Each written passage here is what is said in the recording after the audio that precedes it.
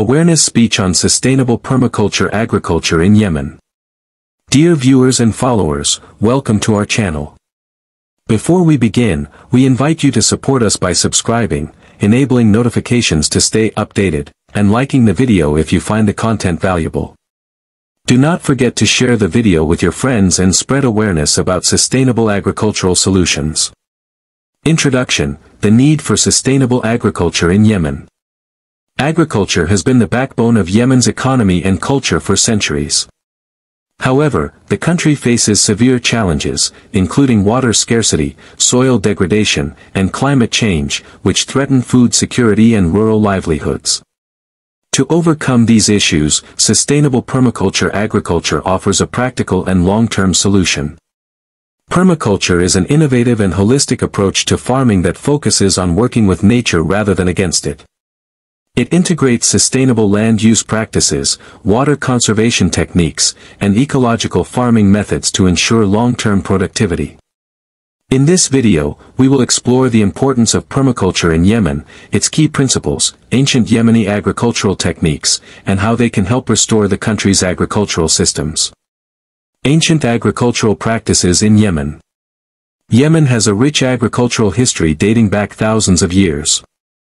Ancient Yemeni civilizations, such as the Sabaeans, Himyarites, and Katabanians, developed advanced farming techniques that allowed them to thrive in arid and mountainous landscapes.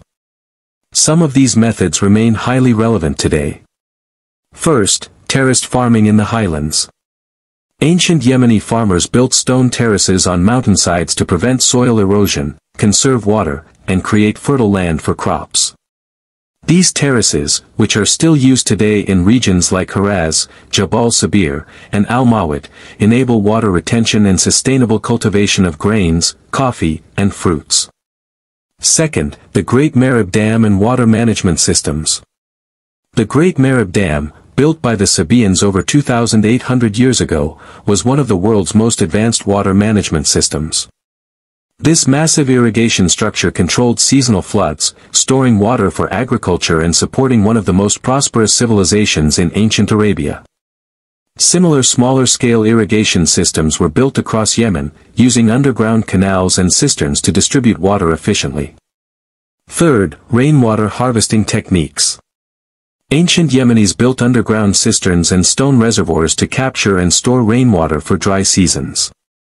In desert areas like Hadramaut, traditional methods such as qanats, underground water tunnels, help transport water from highland springs to lower farmlands.